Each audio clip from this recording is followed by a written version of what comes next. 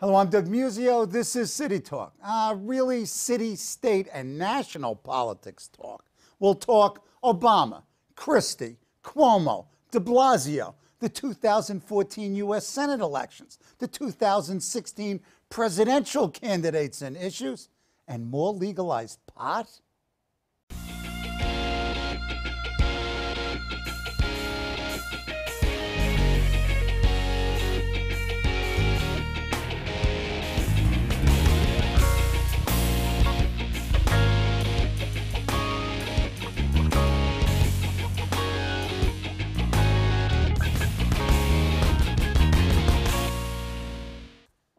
Here to talk all of this talk are two of the wisest of political wise men, Ed Rollins and Hank Sheinkopf. Welcome back, gents.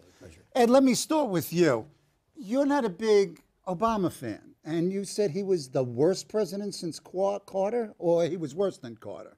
I think he will evolve to be worse than Carter. Uh, Give me, give me his report card. his report card is he, he had two two big issues. Uh, he inherited a war. Uh, he knew nothing about military or what have you, and basically uh, the, the, the, verdict is still out on whether the- early withdrawal, what have you, is going to turn out to be a disaster. In all probability, after spending all the billions of dollars we have, both of those countries uh, will be in worse shape, or certainly as bad a shape as they were when we went in. Now, and, and he deserves the, the blame.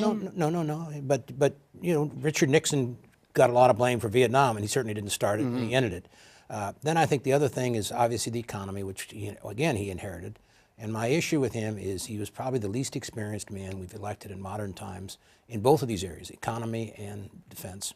And he didn't put people around him that basically understood those. Early on, he had Gates, who was helpful in the war. Uh, Gates left. On the economic front, he basically didn't listen to anybody. And the stimulus bill that he sponsored could have been an enormous help to this economy if it would have been a road building, a transportation, a infrastructure in which you tried to have some bipartisan support. It could have been a bigger amount. You could have retrained Americans, put them to work. What we did is we gave 25, 50 bucks to everybody who was getting a government check. That means nothing today. Hank? It's for for people even on the left or people who feel uh, uh, strongly Democrat in their bones. This is a very disappointing president. Uh, the healthcare uh, the healthcare plan itself is uh, is a is a boon to the insurance industry, but not to anybody else. A sta- he, having having had the courage to stand up for single payer would have meant something, but he didn't. Taking on the insurance companies would have meant something, but he didn't. This is a passive president, and he will be forever known probably when it's written. I don't know how where he's ranked on the scale of bad. I mean, Right. but he certainly will be known as a president who took little advice and was very, clo- very closed in, was not someone who was expansive in his circle. And the, the ultimate tale will be told in foreign policy in Europe, and that is where he will look awful when, when, the, when the history is written. Someone did him a great injustice. It wasn't his term, it was someone on his national security staff when they said lead from behind. For the American foreign policy to be described worldwide as leading from behind is not what we're about. We have always led from the front. And the problem today is this is a president who's not respected by the world leaders. I mean, who's his allies? Uh, uh, who's, you know, you're, Estonia, very big. and, and, you're, and you're up against a very, very tough foreign policy leader in, in Putin. And Putin has basically looked into this guy's eyes and, and, and seen weakness. Ooh. Okay, let's move on. Um, let's start with the 2014 uh, national election, Senate and House. Senate, 13 seats are up, 11 were held by 11 by Democrats, and a lot of the Democrats are retiring. Republicans take over. They need 6 I'm not, seats. I'm not willing to concede that yet. but go ahead, analyze. it. But, but if the election were here today, we'd be at four or five at a minimum and possibly get the sixth. Uh, we've got a long ways to go and a lot can happen, and you've got to beat a couple of incumbents. That's never easy. So I'm, I'm, we're going to have more Republicans for sure, possibility of Republican majority. But two things have to happen. One is Mitch McConnell has to get reelected in, in, in his home state as the, as the leader, which is really the only competitive Republican seat. And, Yeah, and- and Georgia really isn't even. Well, it, it, Georgia, Georgia, Georgia's, Could be. it could be. Could be. Yeah. And so you've, you've got to make sure you don't lose anything, and then you got to take out a couple of incumbents. I would say the, the most vulnerable incumbent today is is Arkansas uh, Pryor, Pryor. and and and, I, and, uh, And Landrieu probably. yeah, and, and that's going to depend a lot on whether the president signs the uh, the, the, the pipeline bill. Right. Uh, if he doesn't sign the pipeline bill, I think she's she's becomes more vulnerable. Okay, Hank? Uh, the Republicans certainly have a shot to take the Senate. There is no way likely that the Democrats could get close to taking back the House. this president's legacy will be uh, an awful one when it comes to partisan politics and protection of his own party, and that people are running away from the health care bill uh, en masse. The New York Times uh, had a story this past week, I think, talking about that extensively. That's something trend you've noticed for quite some time, where the rhetoric changes, politicians are showing no courage and bolting from their own party because they know something's wrong here. Can the Democrats win the Senate? Uh, yeah, they can. Can the Republicans take it back? They can. And will it be close? You bet. Three seats are probably at risk off the top. I agree with Ed. I think that Landrieu's in trouble anyway. Yeah. Pryor is certainly in very serious trouble. North Carolina's a toss at best. Montana, Montana's West a problem. Virginia, West Virginia's a problem. And South, South Dakota. And South South Dakota. Dakota. Those states that would that there where there is where there's real money where the, where the cost by the way the cost per point for television is not as high as in other places. Yeah. makes it easier for the Republicans Yep. to win them Yep. because the money that they can raise versus what the Democrats might be able to raise is much more significant. House gain seats, lose seats, You know, reps. it, it, it's local. It, it, it's it's local. Uh, there's a, quite a few Republicans now that are stepping out, making some seats a little more competitive. I agree with Hank. There's no way we're going to lose it. Uh, the critical thing here is here's here's going to be the slogan: Republicans are going to run on Obamacare, and what a failure it is. President and his team are going to run on redistribution of wealth and, and equality. I don't think arguing for a minimum wage across the country in these districts is going to basically knock any Republican out. Fighting for Obamacare against Obamacare may help them in some of these uh, these other. The Republican mistake will be to run against Obamacare only. All these issues have to be made local. I mean, Tip O'Neill, it's kind of become cliche. Sorry, all politics is local. But you know, when you take data and you're doing a campaign, you're not taking data from a, from a state nearby. You're taking data from the state you're in. These things have to be made local and personal. Question is, how do you do that? The other issue that is troubling to me is the racialization of American politics again, which is very significant. Uh, whether I don't think the Republicans have this, maybe they don't have it intentionally. Certainly, my, some of my good Republican friends would never admit to this, nor are they trying to do it. But uh, as blacks have become the most uh, reliable portion of the American electorate for Democrats, um, they're becoming much more isolated because Obama is is not popular among the Democratic electorate at heart- at large. Were he more popular, the numbers would have been higher in the last presidential election. And what matters in midterm elections is who turns out. Right. Sixty percent of the eligible voters turn out in presidential, forty Yep. percent. Traditionally, it is white.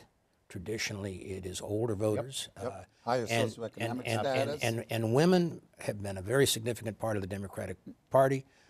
Older women basically are very concerned about Obamacare, and the only place I disagree with you is I think candidates will attempt to make the Obamacare and neighbors and doctors and community people losing small hospitals in the rural areas, what have you, are going to end up being closed because of Obamacare. If you make this a, a middle income, lower middle, let's do it this way. If you make this a blue, white, blue collar, working class argument in states throughout the country about Obamacare, that become the face of the loss becomes someone who is like the people there. That's what I'm talking about. Uh-huh. Then it changes. But to go slash and burn Obama on this is wrong. that would that would not help the yeah. Republicans. Okay. So the, so what the bumper the bumper sticker has to be something other than quote not Obama. What is it? Uh, you know, I, I think it's the old "Are you better off?" Uh, I mean, I, Okay. think, I think at the end of the day, I mean, it, that's been used and and and it And and we know who. and you use it again, and you, but you but you have to basically. I- think the, the I think the weakness for the Republicans today is is is what what is their alternative, uh, and the Ryan bill that's coming. Talk about it. uh, Paul Ryan is one of the smartest Republicans we have. He's he's a thoughtful guy. He's a Kemp protege. I was a Jack Kemp. I was Jack Kemp's chairman when he ran for president. Uh, Jack Kemp was a very thoughtful uh, guy who basically tried to remake the Republican Party, uh, and and would have, I think, if he would have lived or been been successful in his presidential bid. At the end of the day, uh, what what I was about with Reagan is making the Republican Party people who work should do better than people who don't work. Uh, and I still think not that slogan because it sounds very very derogatory, but it's but it's but it's but but the overarching theme of that is that people today are worried about the future. They're worried about the future for their kids. People have done exactly the right thing in life, and our generation are basically at 50, 60, 70 are having a hard time, and they know their kids and grandkids are going to have a harder time. Go ahead. I think they need to say something like, give, Ameri- give me my America back. Give me back my America. Because that's what people are starting to feel. That the America that they thought about, that they thought they'd grow old into, they'd become seniors into, and lead a decent life is disappearing in front of everybody in our age bracket who's in their early 60s who's out of work is not going back to work again. Tell me. I know. I know. They folks. know that. Sure. That's, that's real. And by the way, when the health insurance premiums come in and they're 26% higher for small businesses over the last couple of years, it's a serious thing. Okay. Advise the president.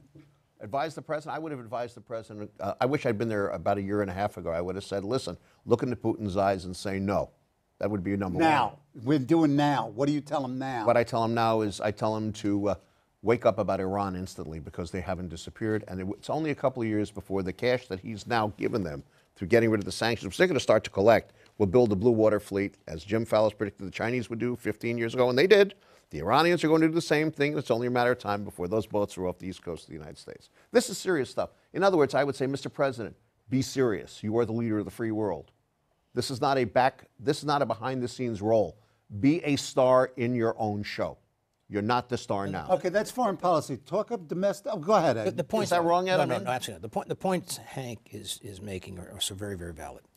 Long range planning is what Putin is doing, the Soviet, uh, Russia, not the Soviet Union. Wants to have the Soviet Union again, but it's in, Russian expansion.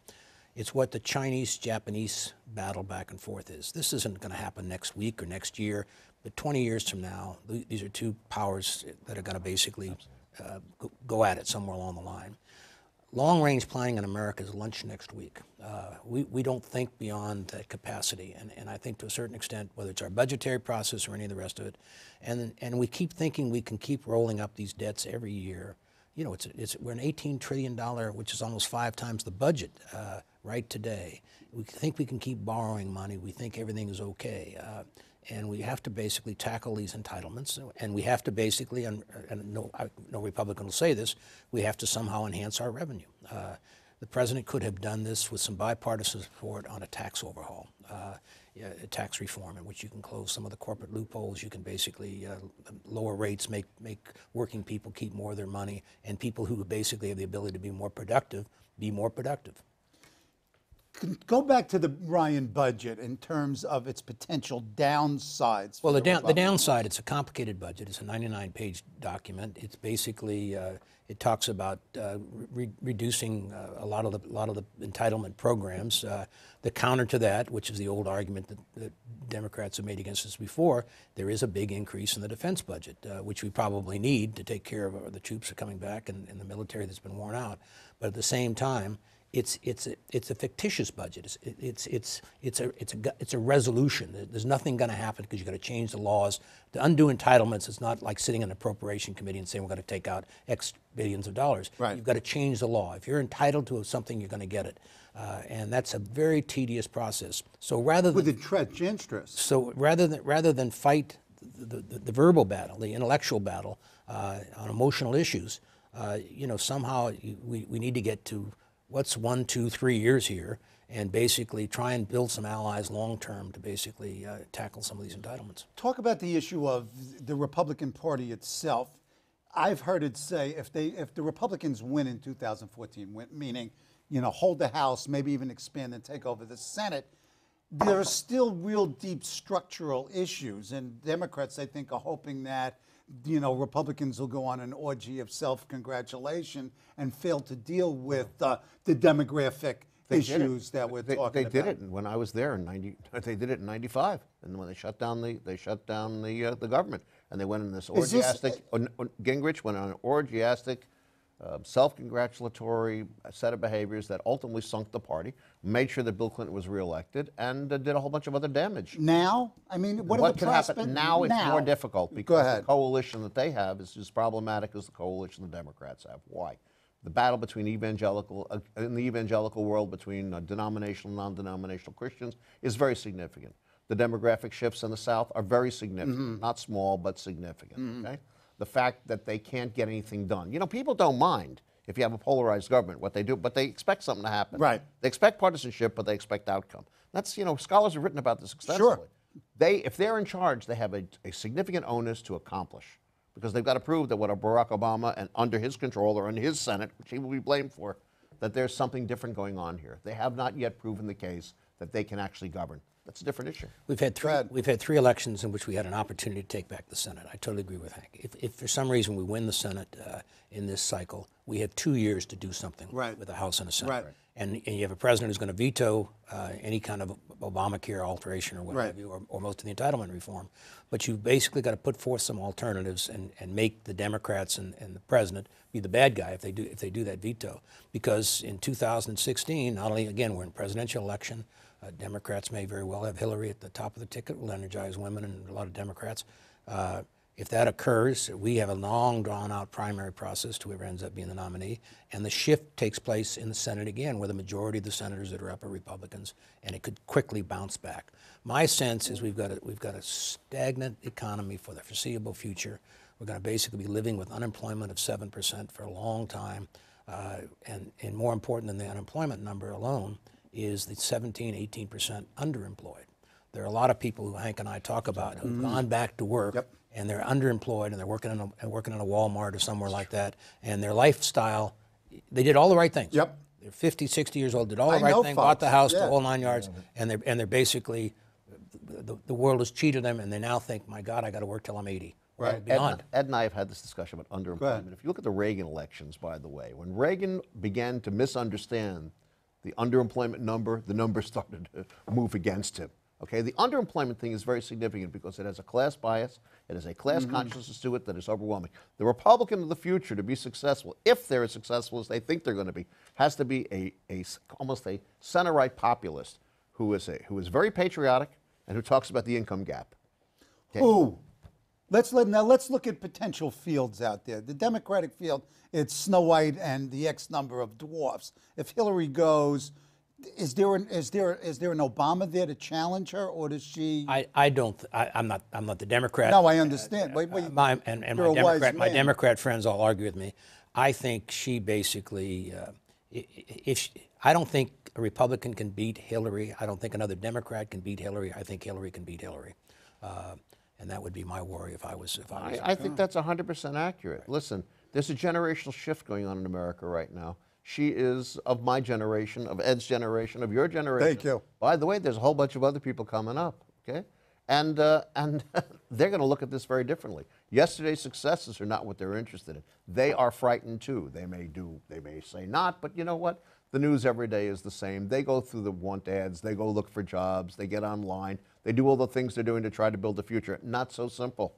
And the income gap and, this, and the social class gap is growing by day. Networks are the way to get to the future, not, not achievement or accomplishment. Okay, so what what does that tell us about the 2016 Democratic race for the nomination, and what? And then we want to turn to the Republicans. Martin O'Malley, um, a decent guy, certainly connected throughout the country, would be, uh, would be a, a candidate. Um, Catholic too. Catholic, very important, I think, very important Right. because of the nature, of the way, the way. Who else? I mean, there's Biden's There's mentioned. Biden, Biden, a Catholic, also from Scranton, Pennsylvania. Right. Not insignificant. Right, Uh, Elizabeth Warren. You have Elizabeth Ah. Warren, who I think is significant because she represents in a balkanized political system where there is no center anymore, where the point of meeting and you know this this whole discussion about the destruction of civic culture is real. Right. There's no cent- there are no central places for meeting in a balkanized culture like in a balkanized political culture like this. Elizabeth Warren is absolutely in the right place. She's on the left. What about what about uh, our, our Jeb Bush, by the way, would be on the right with Scott Okay, Walker we're probably talk as, about as, that. as a vice what about, presidential nominee. What about Andrew Cuomo?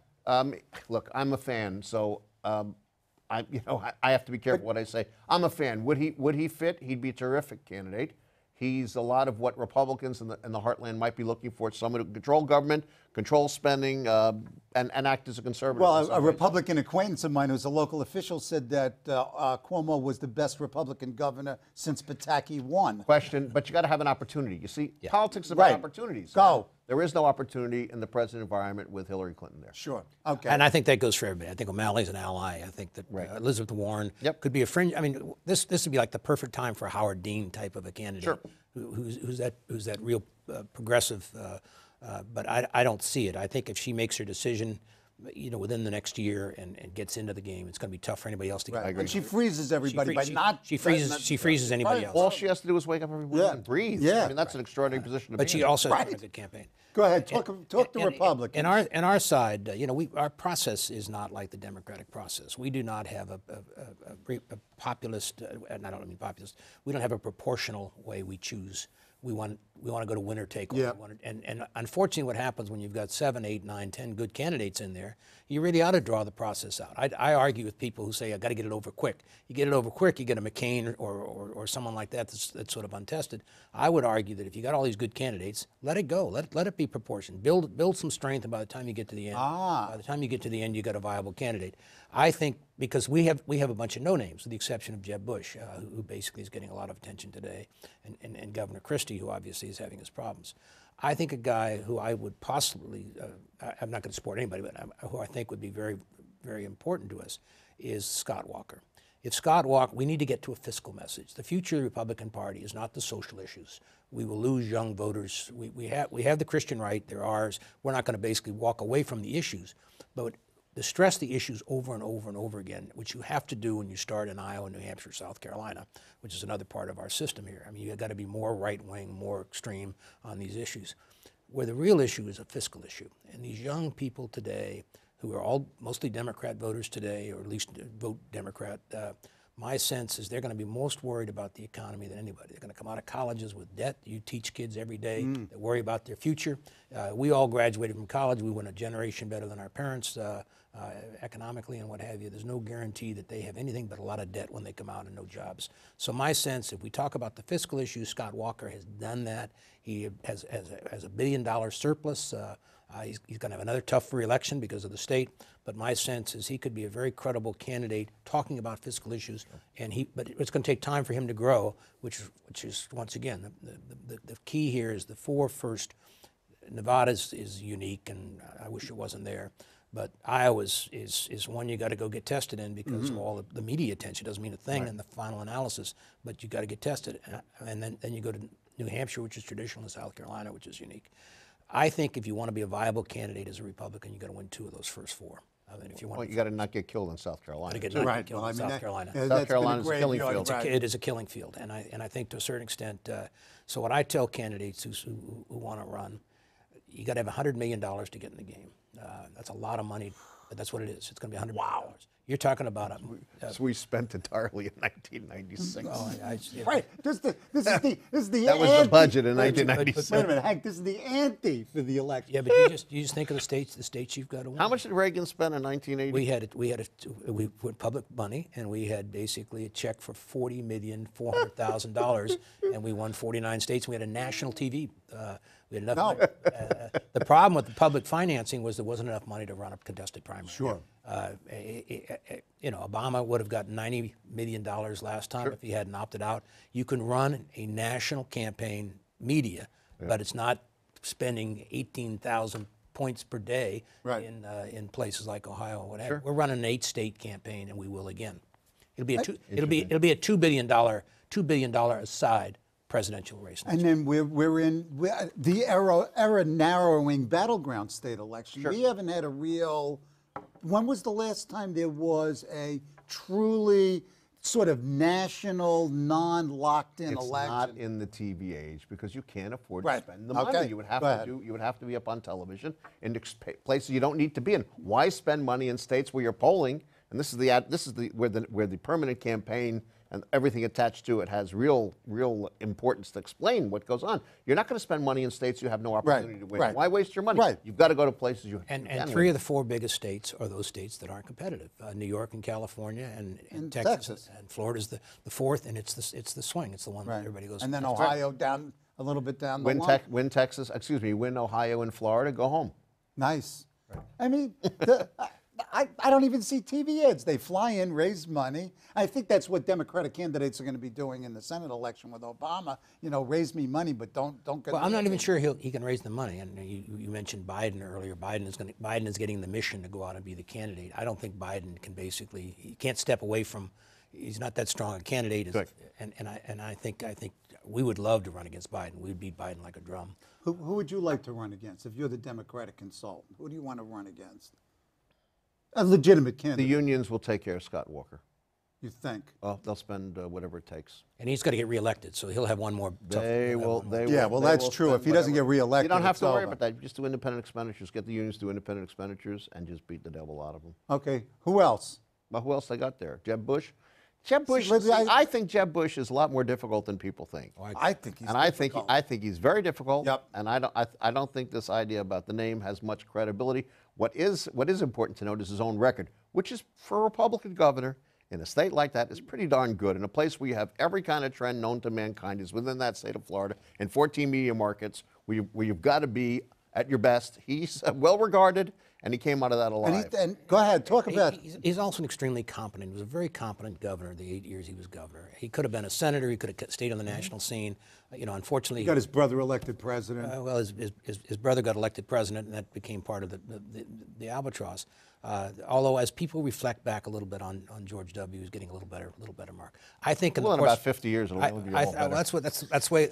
See what happens. What happens? yeah. What happens is you and I basically live in the game. They, These guys analyze political scientists. They analyze what what went on, even though they weren't in the room. They analyze what went on, and then the historians 50 years from now say, "Well, that's nice. The- None of you knew the what best really is all happened. the Here's revi- what really the- best is all the That, that was pretty good, That, eh? was, that, a that was excellent. That was, that was, good that was very that was very good Yeah, because thank the, you. the best example is the revisionist history now about World War One. It's Oh, 100 yeah. years ago. Now we know why the whole thing got screwed Right, up. No one explained it before. we had all figured out. Check now. revision. Revision is wonderful. Matchup. Hillary, you you believe that if Hillary becomes the Democratic nominee, she's unbeatable? Well, what she will do is she'll energize women. Uh, and women are very, very important. They're 53% of the, the electorate. Uh, just as Obama in, in both of his elections where was able to energize African American, uh, other, other uh, minority voters in a vote in disproportionate numbers. My sense, my, my daughter's a freshman uh, at Mount Holyoke. Uh, she said everybody's up there for Hillary, including her. Oh, all right. Her. And, and so my sense is there's no other Democrat going to be able to put the same coalition together that Obama did. She can create a new one, Mm-hmm. and the energy being um, among women. And, and if she was a man, I don't mean this in a, in a derogatory way, uh, we all have to be very sensitive. Even with her credentials, which are very unique, she wouldn't be anywhere near as strong. The fact that she could be the first woman president, Mm-hmm. and people, women want that. That puts her over the threshold. I think that's a very good analysis, and I think it has tremendous value. And I think women, women, gender is the issue. Ooh, so demography will be destiny, whether it, if, if not racial, ethnic demography, Well, in a, country, gender in, a, coun- demography. in a country that's divided, as in this country is divided geographically, ethnically, age-wise, the whole bit. The demographics, if you can get uh, 53% of the electorate energized to where a certain segment who traditionally wouldn't vote there makes a different decision, it's three or four or five percent is a big difference in an election. Absolutely. okay, Absolutely. gentlemen. My thanks to both of you. I learned something. I mean, I did, for you to say that Hillary Clinton would be that strong. But, but the other thing she does is she she doesn't make the Bush name so negative. Uh, it gives Bush Right. gives Bush the opportunity. If he That's gets a- very smart, If he gets the, That's uh, if good. he gets You get the last word. If he gets That's the nominee, he, he gets to have a year to be to campaign side by side, and it'll probably be a more genteel campaign than it would have been if somebody else's. Yeah, that's possible. That's good. We got to stop, unfortunately. My thanks to Ed Rollins and Hank Sheinkopf for their political insights. Join me next week when my guest will be Professor of Education Pedro Noguera here on CUNY TV. Excellent job, guys. Thank you.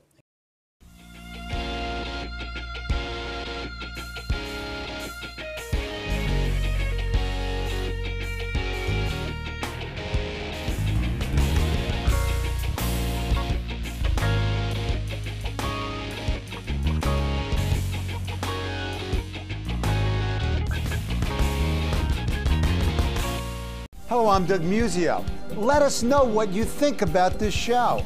You can reach us at cuny.tv. When you get there, click on the bar that says Contact Us and send your email. Whatever it is. Thanks, no thanks, obnoxious, do it. Send it.